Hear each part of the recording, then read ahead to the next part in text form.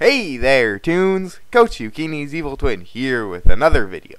This is the start of my newest series, Toontown, the don the pink donkey of doom. Yes, that's what it's called.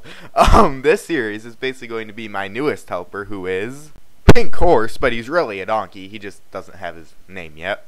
Okay, so basically what this series is going to be is my newest helper, the Donkey of Doom, he's basically going to go off and do some things um, in Toon Valley. However, he has a pretty interesting personality, and some toons will kind of get angry about you know what he will do.